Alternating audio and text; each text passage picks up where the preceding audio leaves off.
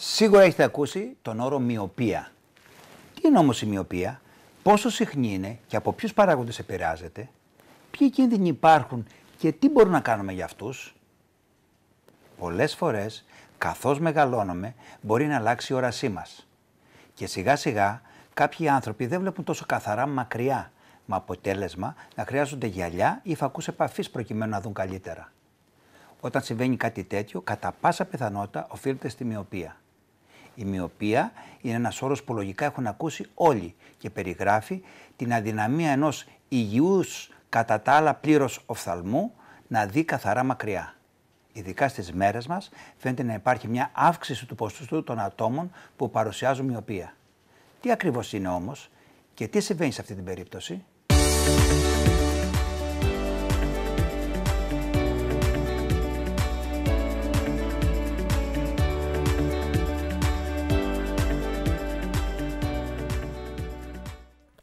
Οποία λέει που αυτή τη δεκαετία και τις επόμενες θα έχει την τιμητική της γιατρέ. Και ακόμη δεν ξέρω αν έχουμε καταλάβει, αν έχουμε συνειδητοποιήσει γιατί θα πάρει μορφές επιδημίας η συγκεκριμένη πάθηση, που πολλοί έχουν έρθει αντιμέτωποι με εκείνη και από ό,τι φαίνεται αρκετοί, αν δεν έχουν έρθει, θα έρθουν στο μέλλον.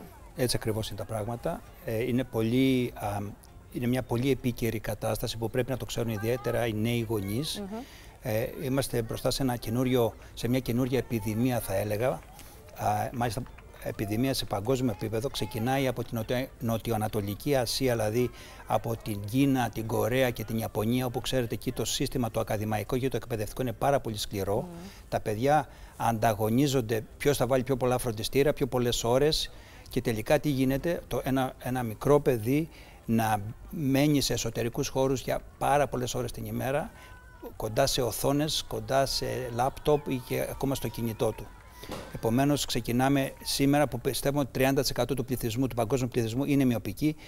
εάν συνεχίσουμε έτσι, πιστεύετε, σύμφωνα με, ε, ε σύμφωνα με κάποιες σοβαρές μελέτες ενός Αυστραλιανού Ινστιτούτου Οφθαλμολογίας, ότι το 2050 θα έχουμε περίπου 5 δισεκατομμύρια μείωπε. Δηλαδή το 50% Άρα μιλάμε για το 50%. Ένα στους δύο, λοιπόν. Επειδή έχω παρακολουθήσει το ναι. βίντεο, την έναρξη του οποίου ναι. παρακολουθήσαμε προηγουμένως, έχετε δώσει συγκλονιστικά δεδομένα για να αντιληφθούμε λίγο το πώς γιγαντώνεται η μοιοπία στον παγκόσμιο πληθυσμό. Το 1971, είπατε, στις ΗΠΑ, περίπου ένα στους τέσσερις ε, ερχόταν αντιμέτωπος με τη μοιοπία.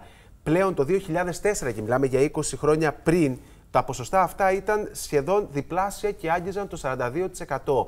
Άρα αυτό που καταλαβαίνουμε δεν είναι θέμα γενετικής, είναι θέμα εξέλιξης της κοινωνίας, είναι θέμα το ότι μαζί με την τεχνολογία και την τεχνολογική ανάκαμψη ανεβαίνει και η μοιοπία. Πώς το εξηγούμε όλο αυτό, τάμπλετ, υπολογιστές, κινητά, θα μου πείτε κατευθείαν. Ε, το πιο σπουδαίο από όλα είναι. Και εδώ είμαστε να δώσουμε συμβουλές σήμερα ναι, περισσότερο. Είναι η αστικοποίηση του πληθυσμού. Δηλαδή, μπαίνουμε σε, σε ένα διαμέρισμα, ε, ε, παίζουμε σε ένα διαμέρισμα, κοινωνικοποιούμαστε σε ένα διαμέρισμα, δεν βγαίνουμε έξω. Θα πρέπει εδώ να τονίσω στις Ελληνίδες μάνες και στους πατεράδες, αλλά ιδιαίτερα στις μάνες που περνάνε πιο πολύ χρόνο με τα παιδιά τους, ότι βγάλτε τα παιδιά σας έξω να παίξουν. Το ηλιακό φως έχει τεράστια επίδραση στην ανάπτυξη πέραν, πέραν του σώματος και των ματιών.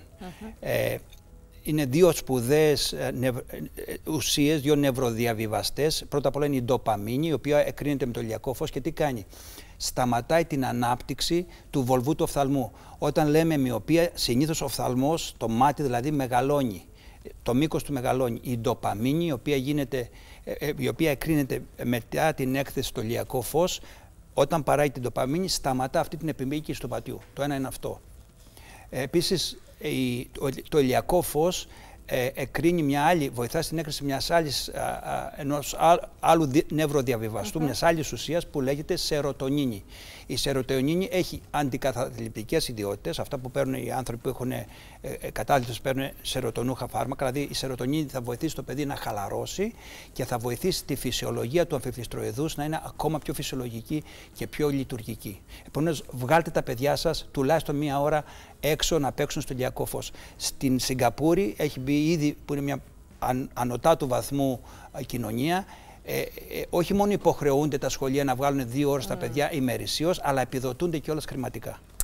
Ε, γιατροί, αν εστιάσουμε περισσότερο στους γονείς, από τη στιγμή που μπορούμε να προλάβουμε όλη αυτή τη διαδικασία. Καταρχάς, κάθε πότε πρέπει να πηγαίνουμε το παιδί στον οφθαλμίατρο για να δούμε αν υπάρχει κάποια προδιάθεση να την προλάβουμε και γενικότερα πώς το βοηθάμε εμείς μέσα σε όλο αυτό, ε, απομακρύνοντάς το από τις οθόνες που λέγαμε πριν. Είναι και το κομμάτι γενικότερα του να βγαίνει λίγο έξω, το να κοινωνικοποιείται. Κάπως λίγο να τους βοηθήσουμε ή και τουλάχιστον να μας πείτε και κάποια πρώτα στοιχεία που μπορεί να τους βάλουν στη διαδικασία να αναγνωρίσουν τη μοιοπία. Πώς βλέπει ένας άνθρωπος που έχει μοιοπία. Καταρχήν, ε, ένας άνθρωπος που έχει μοιοπία δεν μπορεί να δει μακριά. Βλέπετε το παιδί να πηγαίνει πολύ κοντά στις οθόνες, πολύ κοντά στην τηλεόραση, να, να, να σφίγγει τα μάτια του, mm. να μικραίνει και να σφίγγει τα μάτια του γιατί δεν βλέπει καλά. Το παιδί δεν ξέρει αν βλέπει καλά ή όχι. Οφείλω, οφείλουμε εμείς οι γονείς να το πάμε στον ειδικό για να, για να τσεκάρει ο ειδικός. Γιατί το παιδί δεν έχει καταλάβει τι θα πει καλό και τι κακό. Επομένως δεν έχει ούτε γνώμη ούτε γνώση. Άρα επαφείται πρώτα στο, στο γονιό, μετά στο δάσκαλο, αν δεν μπορεί να δει, αν δεν παρακολουθεί κτλ. Mm Ένα σύνηθες λάθος που κάνουμε οι σύγχρονοι γονείς, και εγώ υπήρξα πριν μερικά χρόνια σύγχρονος ε, γονέας, είναι ότι ε, πολλές φορές δίνουμε ένα κινητό ή ένα, ένα λάπτοπ στα παιδιά μας γιατί είναι babysitter. Mm. Κάνει babysitting στο παιδί, εμείς κάνουμε τη δουλειά μας, αυτός το παιδάκι είναι απασχολημένο κτλ. Δεν θέλω πάνω από μία ώρα στα παιδιά α, κοντινή εργασία. Βέβαια, αυτό γιατρέ με συγχωρείτε, αλλά είναι κάτι κόντρα σε όλο αυτό που επιβάλλει πλέον μέχρι και το ίδιο το κράτος μέσω του Υπουργείου Παιδείας. Πλέον τα πάντα και με αφορμή την πανδημία γίνονται μέσω τάμπλετ. Δηλαδή, είδαμε διαδικτυακά μαθήματα να είναι όλο ένα και περισσότερο απαραίτητο το τάμπλετ. Δηλαδή, αναπόφευκτα ναι, ε, προστίθεται χρόνος με συσκευές αντί να μειώνεται. Αλλά τουλάχιστον όσο μπορούμε... Στο κανάλι μου επίσης έχω ένα πολύ σοβαρό βίντεο που λέγεται computer, ε, ε, προβλήματα τα οποία είναι συνυφασμένα με την εξαιρετική χρήση computers. Δηλαδή, νομίζω οι νέες μανάδες και μπαμπάδες θα, θα μπορούσαν να το δουν αυτό το βίντεο για να δουν σε ποιες αποστάσεις πρέπει να είμαστε από το computer, τι φωτισμό πρέπει να. Δηλαδή, το διάβασμα αρχίζει να γίνεται λίγο πολύπλοκο στις μέρες μας. Γιατί, Γιατί μπορεί να μας οδηγήσει σε προβλήματα όπως μοιοπία, κόκκινα μάτια, ευερέθιστα μάτια. Πρέπει λοιπόν να, έχουμε μια στρατηγική καλού διαβάσματος όταν τα παιδιά μας ασχολούνται με τόσες ώρες. Εγώ θα πω πολύ απλά πράγματα. Όχι πολύ μικρές οθόνες. Βλέπω παιδιά που βλέπουν ολόκληρο φιλμ σε, σε, σε και κινητό. Δύο και τρεις ώρες. Δύο και τρεις ώρες. Αυτό το πράγμα δεν το θέλω. Ακατάλληλο. Θέλω τουλάχιστον λάπτοπ με μεγαλύτερη οθόνη. Θέλω τουλάχιστον 25 εκατοστά μακριά από την οθόνη. Θέλω ένα background ε, ε, ε, φωτισμού, να μην είναι σε ένα σκοτεινό δωμάτιο. ε, θέλω που και που να παίρνουν διαλύματα. Δηλαδή, εγώ τους λέω κανόνα των 20. Κάθε 20 λεπτά δείτε 20 μέτρα μακριά για 20 δευτερόλεπτα. Δηλαδή, σηκώστε το βλέμμα σας από την οθόνη και δείτε μακριά στο άλλο δωμάτιο. Γιατί τι γίνεται; Όταν βλέπουμε μακριά, βλεφαρίζομαι 17-18 φορές. Όταν βλέπουμε κοντά, βλεφαρίζω μόνο 7. Κάθε φορά που βλεφαρίζομαι, τα μάτια μας λιπαίνονται. Και η λίπαση, δηλαδή τα δάκρυα, είναι ένας πολύ σπουδαίος παράγοντας. το μάτι. Και ξεκουράζει και το θρέφει και βοηθάει. Είναι σαν η αλοκαθαριστήρας. Ναι. Όταν βρέχει και δεν περνάει η αλοκαθαριστήρας, θα μπώνουν τα μάτια μας. Είναι κάτι παρόμοιο και τα μάτια. Άρα, όχι πολύ κοντά, όχι κάτω από 25 εκατοστά, όχι πολύ μικρές οθόνες, όχι πάνω από μία ώρα, διαλύματα και το πιο βασικό, ηλιακό φως, παιχνίδια έξω. Γιατί το άλλο, το άλλο πρόβλημα του μείωπα, επειδή δεν βλέπει καλά, ο, ο μείωπα ζει σε ένα χώρο ε, ε, μισού μέτρου στο κομπιούτερ του και γύρω-γύρω σε αυτό το χώρο. Τον κάνει και πιο εσωστρεφή, τον κάνει και πιο ντροπαλό. Παρόλα αυτά, ναι. παρόλα αυτά, γιατρέ, επειδή είπατε προηγουμένως ότι ο οφθαλμός επηρεάζεται πάρα πολύ και από την ηλιακή εκνοβολία και από το φως των τάμπλετς, των κινητών κτλ. Έχει ημερομηνία λήξης η, η επιμήκυνση του οφθαλμού, συνεπώς, που φέρνει και το κομμάτι της μοιοπίας; Διότι ακούγονται πάρα πολλά και μάλιστα επειδή ασχολείστε και με τον ε, κόσμο και το φάσμα των λέιζερ, ε, πάρα πολλοί ακούω τελευταία 25άριδες, 20άριδες που θέλουν να μπουν στη διαδικασία να ξεμπλέξουν, να το πω έτσι λαϊκά, με τη οποία που τους ταλαιπωρεί πάρα πολύ. Η Δανάη έλεγε προηγουμένως: Ξέρεις τι είναι να πας να κοιμηθείς στον καναπέ στο μαξιλάρι σου και τα, να σε χτυπάνε, ας πούμε, τα γυαλιά. Ε, Ξέρεις τι είναι να φοράς φακούς επαφής, όπως το ζούσα εγώ επί χρόνια και ερχόμουν αντιμέτωπος με πληγές στα μάτια εξαιτίας της πεφικίτιδα. Βάναυση κατάσταση. Ε, τελικά η μοιοπία σταματάει. Διορθώνεται, Διορθώνεται. Φυσικά, φυσικά. Διορθώνεται σίγουρα. Αλλά... Φυσικά, εμείς αυτό που θέλουμε να αποφύγουμε στις νέες ηλικίες, να μην φτάσουμε στις πολύ ψηλές μοιοπίες. Τι θα πει ψηλή μοιοπία, πάνω από 8 βαθμούς. Mm. Δηλαδή, οκτώ- ε, έχουμε δει και 30 και 40 βαθμούς Ω, μοιοπία, τι έτσι. λέτε τώρα. ναι, φυσικά. Άμα. Αλλά Παναγία. εμείς θέλουμε με, αυτή, με, με την καινούρια λογική και με, την καινούρια, με τα καινούρια δεδομένα των κομπιούτερς και τους τηλεεκπαίδευσης, όπως λέτε κτλ. να μην φτάσουμε σε ακραία σημεία. Αν έχουμε μοιοπίες μέχρι 7, 8, 10 βαθμούς μπορούμε να τις δουλέψουμε. Τα λέιζερ σήμερα έχουν φτάσει σε ε, κοφαντικό βαθμό ακρίβειας. Ε, είναι μοναδικές, ε, δηλαδή αν, αν λέγαμε πριν 20 χρόνια μιλούσαμε για ασφάλεια και για αποτελεσματικότητα του λέιζερ, σήμερα είμαστε πολύ κοντά στο 99% γιατί 100% δεν υπάρχει, αλλά 99-99,5% υπάρχει ασφαλής ε, διαχείριση και θεραπεία της μοιοπίας. Παρ' όλα αυτά δεν θέλουμε το μάτι να έχει υποστεί όλες αυτές τις αλλαγές της επιμήκυσης του βολβού, διότι όταν επιμηκύνει το βολβός, όλοι οι ιστοί μέσα στο μάτι αδυνατίζουν. Επομένως είσαι πιο αδύνατος ιστούς για όλη σου τη ζωή. Είτε κάνεις το λέιζερ είτε δεν το κάνεις. Άρα ε, φυσικά όταν δεν το κάνεις το λέιζερ και, βοη- και ε, βάζεις φακούς επαφής και δεν προσέχεις τους φακούς επαφής, αυτά γίνονται ε, ακόμα χειρότερα τα προβλήματα. Άρα εμείς τι θέλουμε, να σταματήσουμε τη μοιοπία όχι πάνω από 6, 7, 8 βαθμούς. Αυτός είναι ο στόχος. Ε, ναι, γιατί για να μην σας διακόπτω. Όχι, δεν με είναι διακόπτε. πολλές οι ερωτήσεις τώρα. Σκεφτόμουν γιατί θεωρώ ότι είμαι υποψήφια από ό,τι νομίζω το επόμενο σας ραντεβού. Αλλά παρόλα αυτά, την ε, μοιοπία την κληρονομούμε από τους γονείς μας και την κληροδοτούμε και εμείς τα παιδιά μας; Ναι, νομίζω με- μέχρι τώρα έτσι νομίζαμε ότι όταν ένας γονιός ε, έχεις μια πιθανότητα 30%, όταν έχεις δύο γονείς είναι πάνω από 60-70%. Παρόλα αυτά, η νέα επιδημία αυτή που σας λέω τώρα έρχεται να καταρρύψει αυτή τη θεωρία. Δεν έχουμε ακόμα ξεκαθαρισμένα α, νούμερα και δεδομένα. Πιστεύουμε όμως πως οι περιβα- περιβαντολογικοί παράγοντες ξεπερνάνε ακόμα και την κληρονομικότητα. Τι λέτε τώρα, φτάσαμε σε αυτό το σημείο Ακριβώς. να συζητάμε για κάτι τέτοιο. Περιβαλλοντολογική Είναι εννοείται απίστευτο. απίστευτο. όχι Ε, καιρικές συνθήκες όχι, όχι, απαραίτητα, μιλάμε- αλλά εννοείται αυτό που Ε, συμβαίνει εξέλιξη στο των περιβάλλον. ναι, πραγμάτων. δηλαδή Η εξέλιξη των πραγμάτων. ας- η αστικοποίηση, Η αστικοποίηση. να ζούμε σε ένα Αυτά που λέγαμε διαμέρισμα, πριν. κοντι- κοντινή εργασία, κομπιούτερς κτλ. Μάλιστα. Σε περίπτωση που κάποιος δεν ασχοληθεί με τη μοιοπία του, δεν φροντίσει δηλαδή να την αποβάλει όταν πρέπει.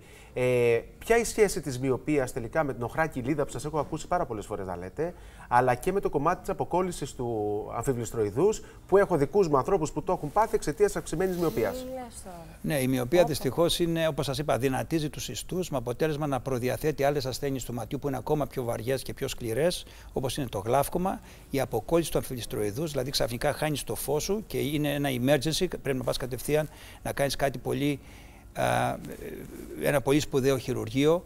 Α, και τέλος πάντων είναι, είναι, είναι μια ορολογιακή βόμβα αν δεν την προσέξεις την Έτσι. μοιοπία. Την μοιοπία πρέπει να την προσέχεις, Πολύ σωστά το να τοποθετείτε. την, να, να την κουράρεις, να έχεις μια επαφή με ένα. Έχουμε πολλούς καλούς οφθαλμιάτους ευτυχώς παντού πια.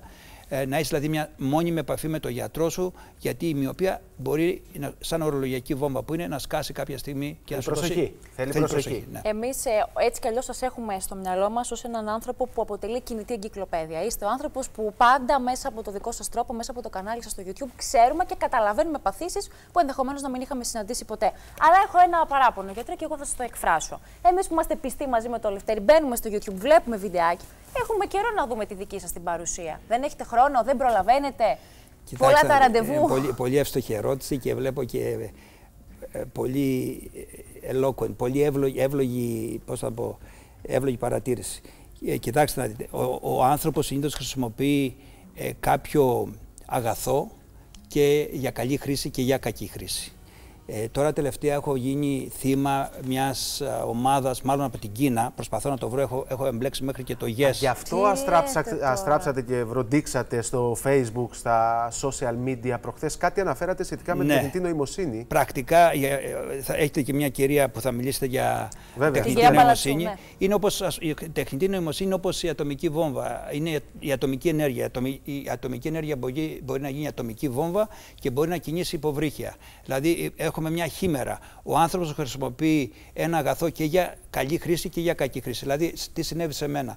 Ε, πήραν τη φωνή μου, την εικόνα μου, τις, ε, τους τίτλους μου και άρχισα εγώ να πουλάω στο ίντερνετ, α, α, ε, πώς το λένε, ε, Προϊόντα αληθές και- αληθές, Α, αληθές, αλλίωσαν τελείως το ναι, περιεχόμενο. αληθές για, ορθοπαιδικά, για ορθοπαιδικούς ή άρχισα να, να πουλάω διάφορα φάρμακα. Φαίνομαι εγώ ακριβώς ο ίδιος, Ακριβώς ίδια εικόνα, ακριβώς ίδια φωνή. Άρα χρησιμοποίησαν τη φωνή Απίστευτο. σας. Ναι, το πρόσωπό μου, την Η εικόνα μου. φωνή σας Για κάτι τελείως Ναι. άσχετο. αυτό που φαίνεται ότι κάνετε. τα λέτε εσείς, αλλά δεν τα λέτε εσείς. Ακριβώς. Απίστευτα πράγματα. Αυτό λοιπόν θέλω εδώ να- και να θέλω εδώ να κάνω μια. Δεχτήκατε μηνύματα από Πολλά, κόσμο. πολλά Πώς πολλά- το μάθατε εσείς, πώς έφτασε. Άρχισαν να μου λένε, στα αυτιά μα σας; γιατρέ, εμείς δεν πιστεύουμε ότι, ότι είσαι εσύ αυτός. Γιατρέ, είσαι εσύ Προφανώς αυτός. και δεν γίνεται Ναι. να ήσασταν εσείς με αυτός. αποτέλεσμα δεν σας κρύβω ότι έψαξα σε πολλά, σε πολλά επίπεδα να το διορθώσω αυτό. Δεν υπάρχει κάποιος φορέας. Μου μιλήσαν για, για ηλεκτρονικό έγκλημα, μου μου μιλήσανε για ε, αστυνομία. Δεν υπάρχει ένα θεσμικό όργανο αρκετά ικανό να τους σταματήσει. Αυτή είναι μια ομάδα hackers από την, α, από Κίνα. την Κίνα, η οποία ουσιαστικά κάνει ό,τι θέλει. Να σας πω το, το πιο απλό παράδειγμα, ότι μπήκα στο δικό μου Facebook για να το, για να το αρνηθώ τέλος πάντων ή να το, ή να το καταγγείλω και έ, όποτε έμπαινα έπεφτε το δικό μου Μα τι προφίλ. λέτε τώρα, αυτό είναι Δηλαδή, στοχευμένο Ναι, τελείως. τελείως στοχευμένο και νομίζω ότι α, ε, είμαστε μόνο, βλέπω μόνο την αρχή του παγόβουνου. Θα δούμε και άλλα τέτοια. Επομένως, εφιστώ την προσοχή στους τηλεθεατέ, όχι μόνο για μένα, αλλά και για όλα τα υπόλοιπα. Μην τρώτε αμάσιτη τροφή. Θα μπούμε σε φάσεις όπου θα πρέπει να βάζουμε το μυαλό μας, να σκεφτόμαστε αυτό. Να που... το σημειώσουμε αυτό, να το πούμε στην κυρία Φυσικά, Μπαλατσού στο φυσικά και τέλος θα της το πούμε. του Ναι. μέρους Βέβαια, και να δούμε σίγουρα πώς θα έχει κάτι να μπορεί ένας απλός χρήστης, ένας νέος χρήστης να το αντιμετωπίσει. Ένας τεχνολογικά αναλφάβητος χρήστης, πώς θα καταφέρει τελικά να σταθεί απέναντι σε αυτό την να κορυφή του ξεχωρίσει παγόβουνου. την Ευχαριστώ, αλήθεια είναι ένα παραπάνω. εξαιρετική Ευχαριστούμε. ερώτηση, Χριστιανά, διότι είναι πραγματικά. Αφού το συζητούσαμε και στο γραφείο τώρα, είχαμε απορίες να μην σας βέβαια. ρωτήσουμε εδώ, εμείς σας μιλάμε ανοιχτά. Να είστε Δεν- Ευχαριστούμε, δεν- Δεν είστε γιατρέ. τόσο, μόνο τόσο όμορφοι, είστε και εξαιρετικά intelligent. έτσι. Α, Intelligent. ευχαριστούμε Εξαιρετικά πολύ. ευφύς. Να είστε καλά, γιατρέ. Να είστε καλά, γιατρέ. Ευχαριστώ πάρα πολύ. Καλή συνέχεια, Είναι να πάντα είστε χαρά μου καλά. και νιώθω σαν το σπίτι μου πάντα κοντά σας. Μας Παρομοίως. ξανάρθετε τώρα. Όποτε πάρα θέλετε. πολύ. Ξανάρθετε. Να είστε Λοιπόν, καλά. πάμε σύντομη διακοπή για διαφημίσεις και επιστρέφουμε σε Τα πολύ λέμε. λίγο. Πάμε. Ω, Να είστε καλά.